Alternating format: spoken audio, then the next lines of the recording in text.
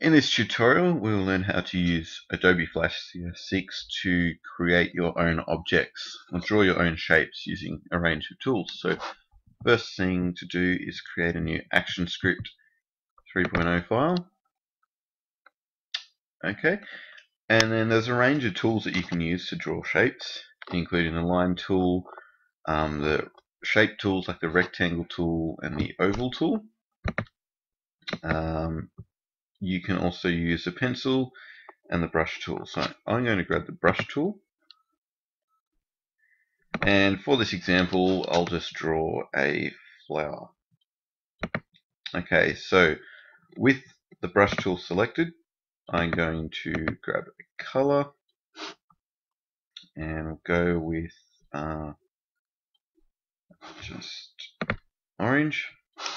Okay, I'm going to draw the petals on this flower. So try and do it neatly.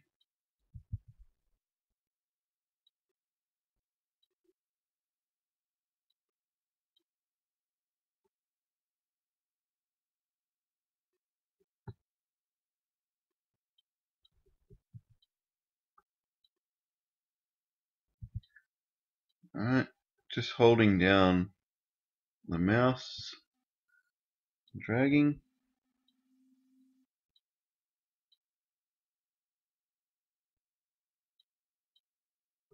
Okay, and then what I'll do is I'll draw a circle here to join it all up, making sure that there's no gaps. Okay, so we don't want any gaps here. I want to make sure that each of these petal shapes is completely sealed, completely closed. So no gaps between the lines. Alright, then we can grab the paint bucket tool and we can fill in these individual shapes. So I'm going to pick a lighter color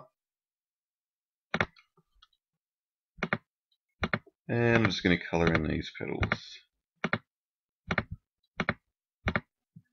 Okay, then I might grab paint bucket tool again and just uh, again change the color for the middle so it's a little bit lighter.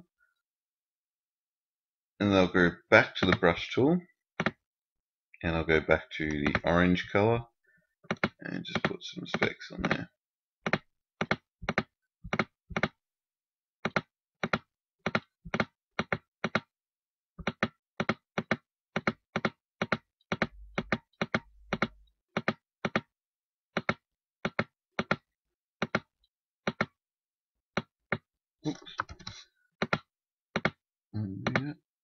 Okay, there we go.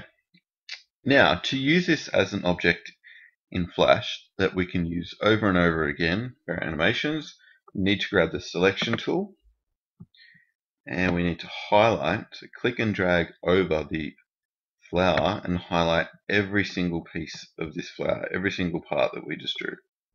Right click on that, click on convert to symbol, and then give it a name.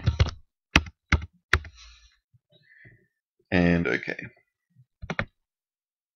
Now we can move this around and we can use this flower over and over again in our animation. We could um, copy and paste it. We could make multiple copies of this and make them different sizes in different places.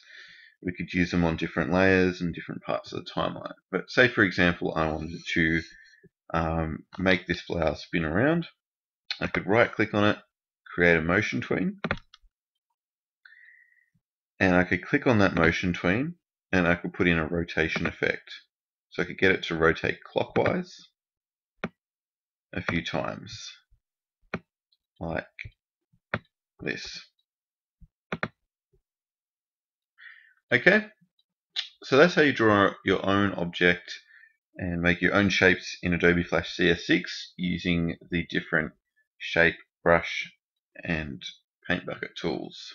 Okay, thanks for watching.